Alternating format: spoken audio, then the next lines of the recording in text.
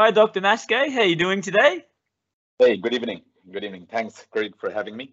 Not a worries. Thank you very much for your time. I know you're an extremely busy man, so uh, we have this short window uh, to have a chat. Uh, just a little bit of a background. Uh, I heard about the bloodline uh, last year, and uh, I got to meet you, and I donated some blood a couple of months ago, and I was just blown away by the whole setup of the uh, of your bloodline. I mean, it's a it's not just going in there and donating blood. It's there's music, there's art, there's all stalls there. You can buy paintings and like carnival, yeah.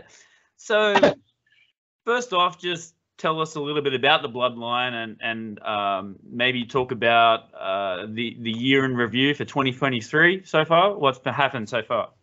Yeah. So uh, 2011 November, you know, I was uh, uh, I was in China, and then of course I'd already been in China, Shanghai at the time.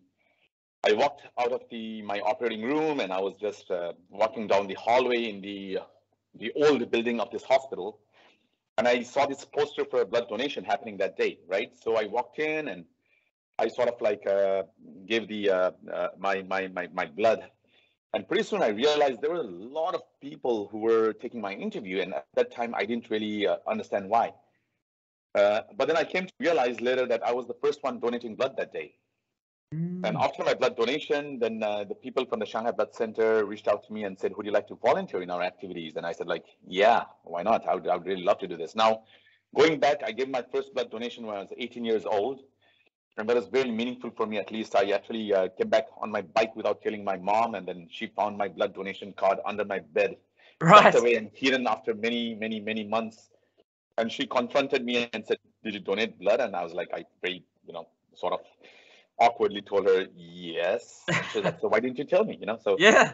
so it was it was it was good. And then uh, then later down the road, we were working back home in Nepal in a in a children's hospital. Yeah, and then the the next time was I was as an intern working in pediatric surgery, and then uh, at that time back in that country, you know, people actually families had to replace blood for their for their family members.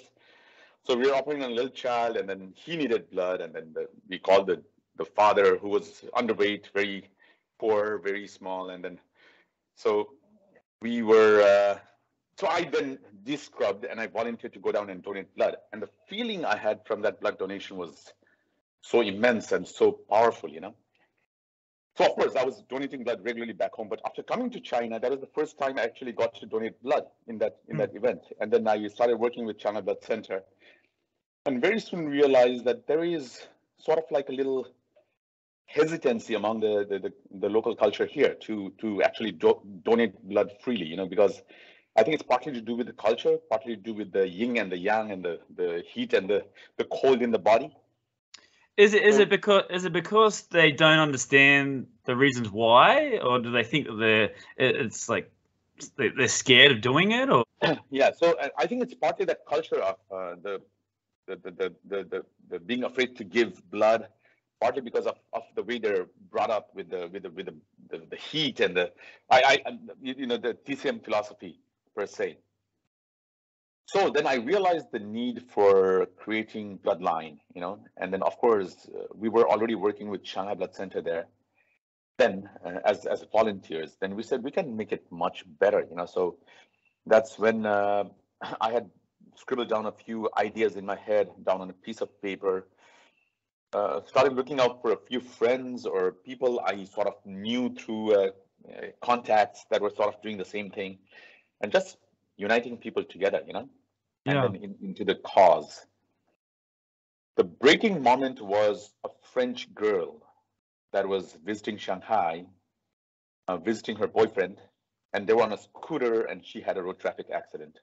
Mm. So uh, she went to a local hospital. I think they missed the diagnosis, and at that time I was still in general surgery. And then, so uh, she came to our hospital, and it appeared she was bleeding from the liver.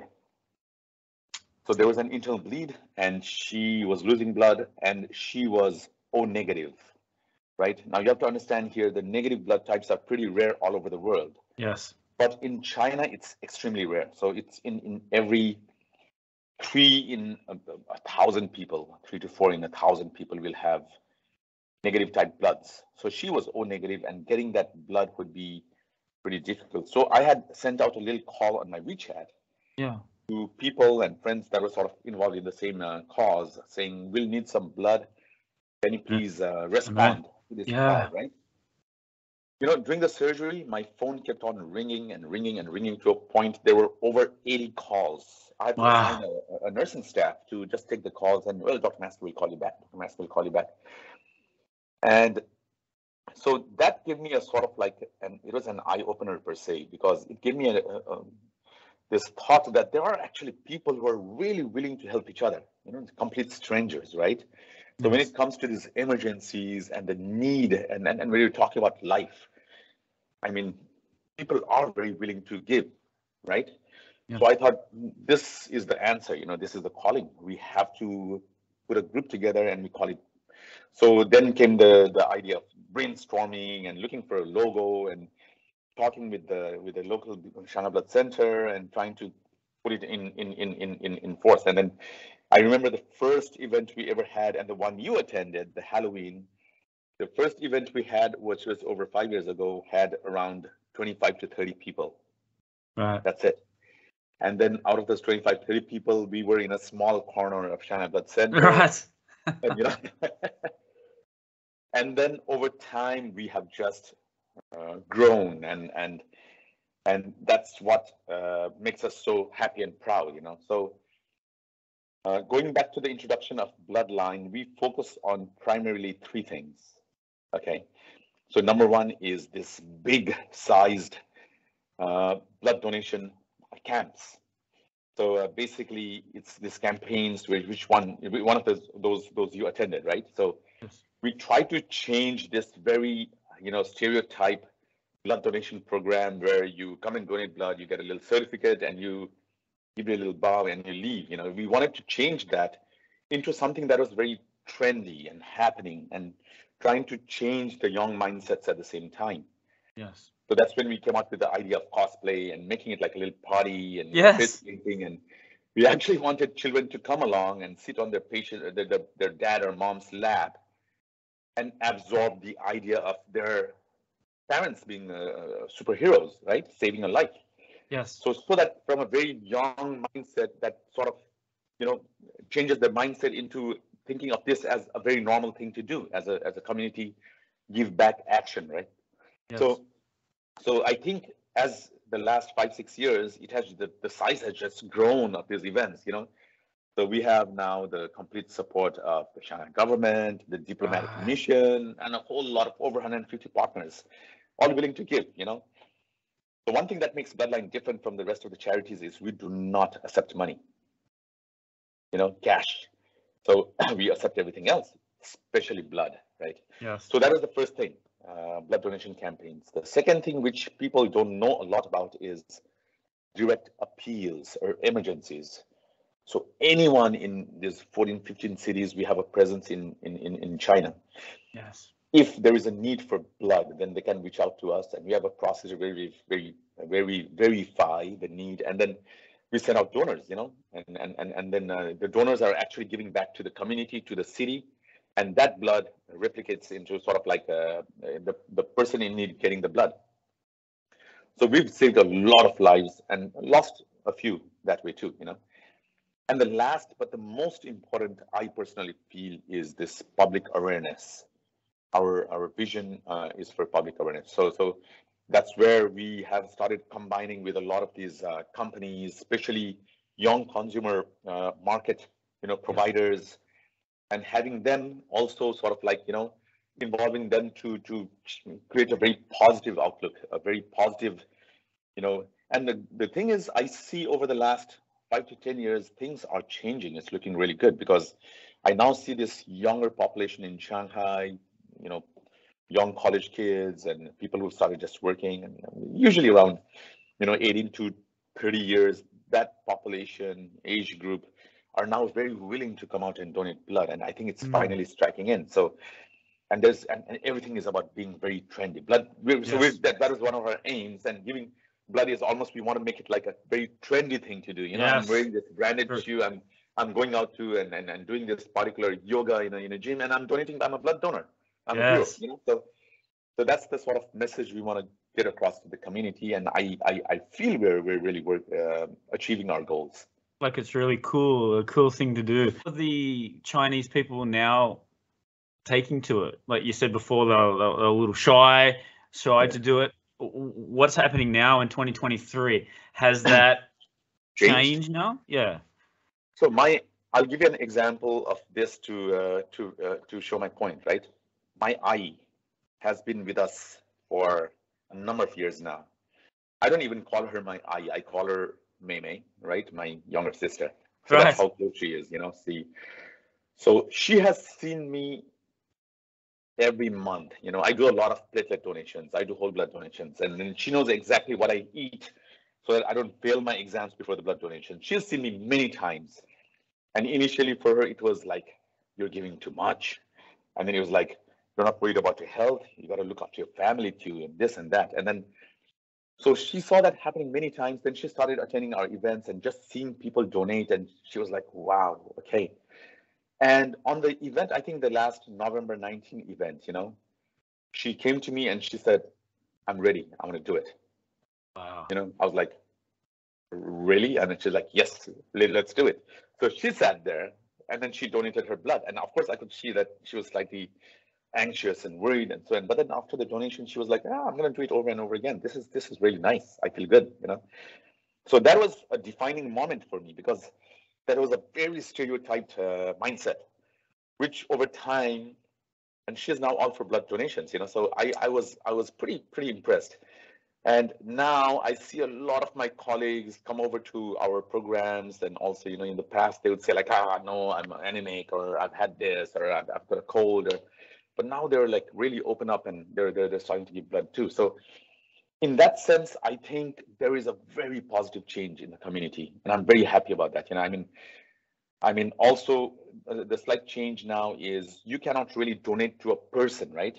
You can donate to the community and it's the, the the responsibility of the community or the to to to give back to people in need so that's also that that change in policy is also making a very good impact And and definitely you're making an impact. And I saw one of your last posts on WeChat where you've actually started winning some awards uh, for the Bloodline as well. So congratulations! That's amazing Thanks so achievement. yeah yeah Uh, so what does that mean to you to to get some get some recognition for something that you're doing? yeah so the first time i got the award was in uh, 2019 you know Yes. so it was like the top 10 social service stories of shanghai and Yes. Just to be nominated we were like hey we're just a bunch of friends. And Yeah. we're just doing this purely for helping out the community right? We have no desires no no no desires for personal gain. And it's just we're doing it purely because and people ask me what do you get from doing bloodline you know? How much do you earn? Like, zero. Yeah. money. Yeah. then, but but then why you do it? You know it's like because it feels good. And then but but there must be a reason. Like well it's it's food for soul right? Yes. so, uh, and once I got that award, I was like surprised. But then the next award really caught me by surprise because it was the Shanghai Magnolia Silver Award. I really did not sink into the extent of that award until I was sitting there on the in in, in, in you know with the audience before we went up on stage, listening to all these other people, and I realized, oh my God, all these other people are big shots. You know, these are big CEOs of big companies and you know these are all uh, uh, financial companies and and we're just a bunch of friends Yeah, really yeah. you know so that was uh, quite shocking and of course pleasantly shocking you know Yes. and then came to the next uh, award with uh, being involved with several government international uh, and, and, and international like foreigners forums trying to you know sort of exchange ideas for the Yes. development of shanghai Yes. and then finally this time there was uh, the shanghai magnolia gold and also i was chosen to give that that speech on behalf of the uh, the awardees you know so so it was it was uh, quite something so one thing for me that caught me by surprise and i'm very uh, very happy and surprised still is how the Shanghai government was able to, you know, actually visualize these little actions of it's not like an organized big NGO, right? Yeah. There's a bunch of friends who are making an impact in the society. How they're able to to see this thing happening in the community and actually award these people, you know. So that for me was quite something, and and I'm very happy to say with now with the support of the Shanghai government, the diplomatic mission in Shanghai, you know, and a lot of other big companies, companies like the like likes of Playmobil, Disney, Cirque du Soleil, and so on. You know, so I mean, it's all looking good. I mean, there's only one way forward. You know, that's it's it's, it's making a positive impact. Yes, and More positive impact. Yeah. And can a person come in anytime, or is it the weekends like like we had it before? Well, we do do those big events, right? Right. But at any point, 365 days a year, working time, all those mobile units or other stationary units, you know, anyone can go in there, and we've set up a a, a- system, a green channel where you just go in and say, "Hey, I'm Bloodline," right? And then you could go into any of those mobile units or stationary units, donate your blood, and I would have known, we would have known right away because they'll send a picture back Yes. The bloodliners, we call them bloodliners, you know, giving giving blood and that put a little play card. Now, one thing also which we strongly believe in is we have a bunch of partners, right? And uh, everyone involved in Bloodline or the, the mission of Bloodline, we add them into a group, uh, a representative of each of these companies into a group, and we call it our advisory board. Yes. So we listen to all these people, to what they have to say, for us to make our, you know, uh, judgments as to how we should work in the future. Yes. And uh, so our belief is Bloodline is not just a bunch of core members here who are doing this stuff. It's us, you, me, the the the companies that are we involved with, the supporters, the blood donors, you know. Yes. So this community is bloodline. That's what we strongly believe in, you know. And and also in our core membership, we have people from um Singapore, Italy, Holland, India, I Wow. mean, name it. You know, Chinese locals, Shanghainese. We have from uh, Togo. So so so there's uh, everywhere. There's a good representation, and we want to keep it that way. Do you have one in Australia? Uh, we had an Australian French guy Right. uh, who unfortunately had to repa- repatriate back. You know.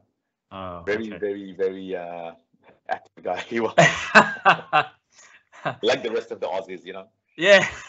The only thing I didn't like about him is he loved Vegemite. So um, oh yeah. Oh, yeah, yeah. come on, come on. That that's a true Aussie if you're eating Vegemite. so uh, I just want to go back a little bit, uh, back into uh, your family. Uh, so you grew up. Uh, you're from Nepal. Yeah. Uh, Kat- Kathmandu. Yes. I saw, and correct me if I'm wrong, but uh, you grew up with doctors as parents. Is that correct? Yes, yes, yes. So So- I can see that sort of similarity, sort of, because there was a quote from you uh, in paraphrasing, but uh, it said that uh, my father used, if there was a person that couldn't afford the medicine, then he would just say, "Okay, I'll do it for free. I'll give you the medicine. Just to get better." And I can see like a trend with you, like now with the bloodline as well. So, what did your mother and father how, how did they sort of inspire you to sort of do this Yeah. So yeah, my dad was a chest physician, right? And uh, as a younger kid, like five years, six years, even younger, I used to just sort of follow him to his to his uh, chamber, his clinic. Yes. And I look back and I think that that was so stupid because he was a tuberculosis specialist, you know. right. But then uh, yeah so he would you know i would see him charge some patients but at the same time i would see him completely you know not charge his patients. Not- so i asked him what what made him decide i'm going to charge this patient but i would not charge this patient? So he, he told me it was very simple you know like when he was stripping off the patients to examine them just by the condition of their undergarments if it's torn or a little held together by a safety pin or so he would just say, okay, this patient needs free medicine, you know? And growing up in, in back home in Nepal, I went to a boarding school. I went to a, a missionary school, actually, a Jesuit school, and uh, it was mostly American uh, teachers. So they also taught us the value of social service. So as kids, we used to be, uh, mm. it was a boarding school, all boys school, right? So we'd be distributed in little groups of five students and be sent out to different villages, you know, villagers, and then we would just do whatever they wanted, including uh, sort of like, you know, harvesting the fields or, you know, uh, cleaning the cow sheds or etc. etc. you know. Yes. And growing up, then we started uh, again working in one of the poorest, uh, well, well, children's hospital for poor people, where we would, you know, do a blood drive, we would do medicine drive, we would do uh, cash drives for for these patients who could not afford it, and and then as as an intern, we also had this way as as, as doing also my house job in in a hospital there we would basically we had a system where we would collect from the rich and save it for the poor.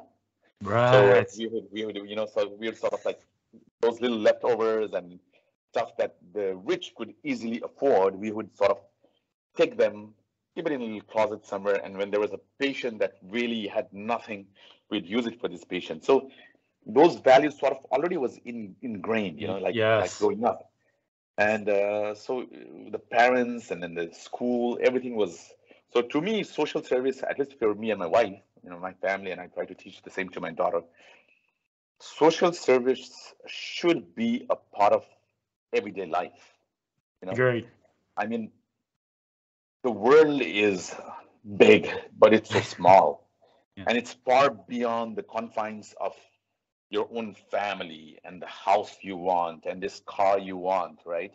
Mm. I mean, we are born, I, I, I seriously feel, for a greater good beyond just the confines of your your life. Yes. So so that's that's where it comes from. I mean, uh, you have to understand all the core members in Bloodline are all people who are working. They have their own jobs. They are uh, you know fabric designers or designers or a diamond seller or you know like like you know uh, working on e-commerce and so on so they have their jobs. right. it's only in the evenings that they come together and they're like hey let's do something you know yeah, but right. everything is like for free service but then but then i'm really proud of the core team too they i mean uh, they've given enough of their energy and time yeah absolutely uh quick question why china was it uh, a good opportunity to come here, or why didn't you stay in Nepal? It was sort of like a good opportunity, I, I would say. You know, I was uh, I was in UK for a while, and then okay. I was in uh, I was in Bangladesh for a while, and then I was in Nepal at that time in the middle of the the, the civil war we had at that time. Mm. And there was an opening for a postgraduate degree studies. And just without paying much attention to it, I applied and found myself on the short list and then on another short list and then on another short list and finally into the selection list. And I was like, oh my God. So I didn't even think about this. Should I, should I not, you know? So there was a moment where I really had to sit down and think, should I go to China? I, I have no idea, you know. So I, I decided to give it a go. Yes. And the first year, I have to say, was difficult. This was 19 years ago. Right. 19 years ago, right? Is it? Is it? Is, isn't Shanghai like the Wild West? Isn't what everybody calls it like back then? Like uh, the yeah, it was. I mean, I mean, I still remember us coming down, and I had a I had a friend, and we were walking down Baoshan district, and there was a bunch of like around 20 kids after us, you know, going like, oh, Laowai, Laowai, Laowai, you know, it's like, yeah. And then the first year, we were basically using sign language yeah, right. It's like, oh, yeah, you know, yeah, and, yes. And pork, and I remember trying to go buy some chicken, you know, and we sort of forgot how to say, you know, chicken, chicken. in, in yeah. Chinese. Yeah. So my friend was like, he points to a chicken egg and goes, "Tada mama, I want the mom," you know. and you have to remember at this time there were no no phones with translations. And it was right, like a small right. nokia phone if you were lucky. And the little red chinese book uh, with the, the the dictionary that you carried in your pocket you know. So yeah things have really changed. And and i'm i'm very happy to be a part of the growth of this uh, city. Yes absolutely. Wanted to ask one thing about uh, donating blood I mean, sure, there's particular types of blood that ha- are very common, but what what bloods, uh, uh, like you said, O blood before was a rare type. What sort of bloods are you sort of looking for, like in particular, like that need more? Right now, yes. If you have blood, we need you. Okay. not, right. not even tomorrow. Now, you know. Mm. So that's that's the, uh, the the the urgency of that. So roughly, Shanghai needs around 1,500 units of blood per day. Right. Wow. There are days you get a few hundreds, and there's days you get probably between 100 to 200. Mm. Right. So out of a thousand people in Shanghai, usually roughly around 10 to 15 people donate blood regularly. So the difference is huge, right?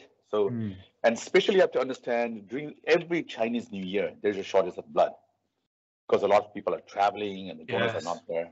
And especially with the epidemic situation, that became worse.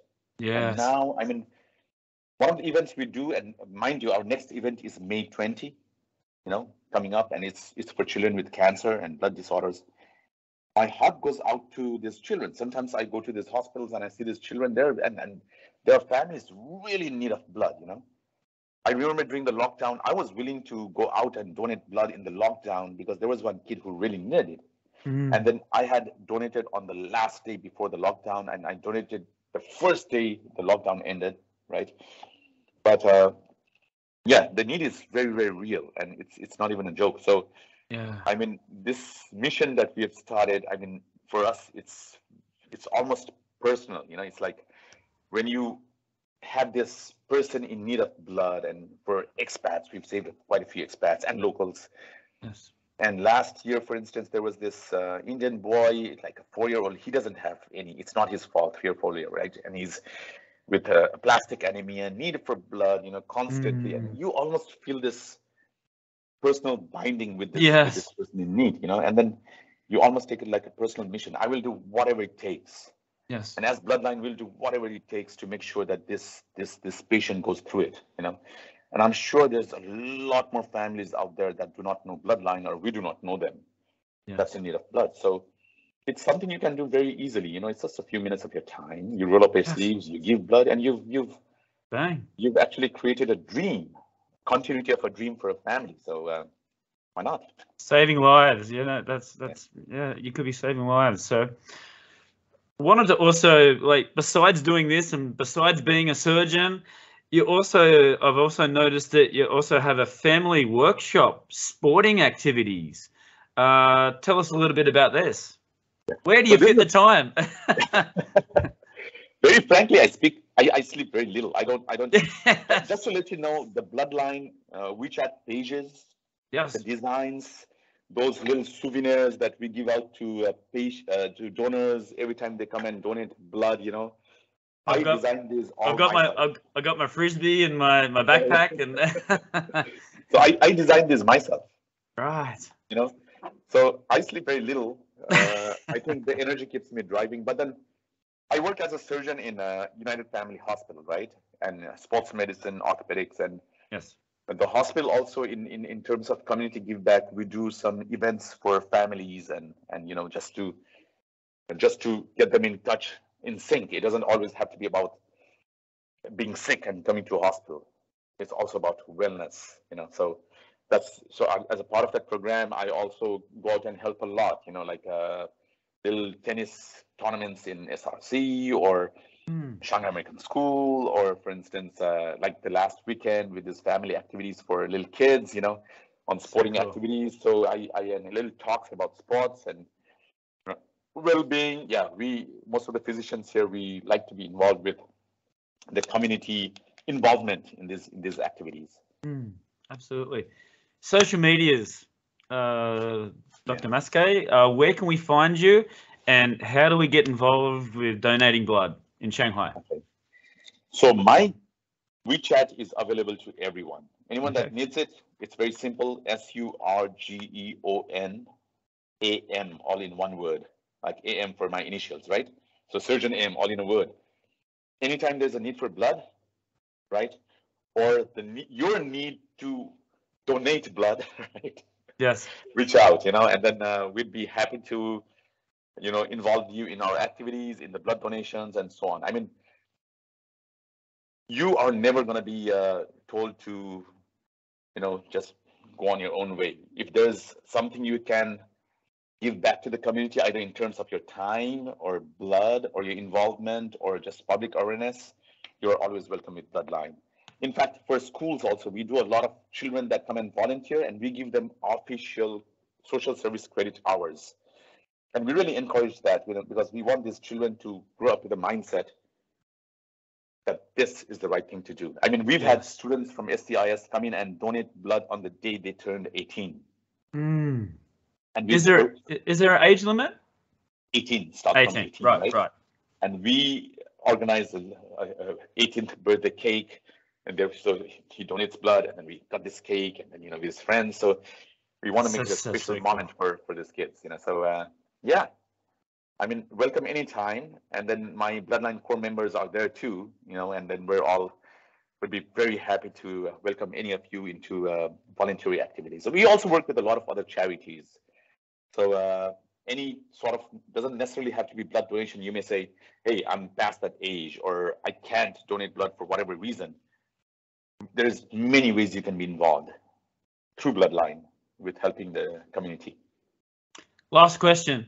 Uh, who- is your greatest inspiration slash hero and why? who is my greatest inspiration slash hero, right? Well, i've already told you about my dad, right? I think I- I took a lot of this thing uh, going forward from uh, from my dad. But uh, another guy who has inspired me a lot is, do you know a, a, a, a, character by the name of Norman Bethune? No. he was a Canadian, right? And he was really during the the, the, the Civil War and in Spain, and then for, finally came to uh, to China. He was a big uh, forefront, a, a a leader uh, in, in in terms of blood donations. So he helped a lot of people in all these countries, and finally in China with with uh, pioneering and establishing blood donations. At that time, that was pretty right. Wow. So uh, this Spanish Civil War, you can imagine. So normally Yeah. Bethune, look him up. He's he's he's he's quite something, quite a character. I definitely will. So, yeah. Uh, Doc- Dr. Maskay, thank you very much for your time.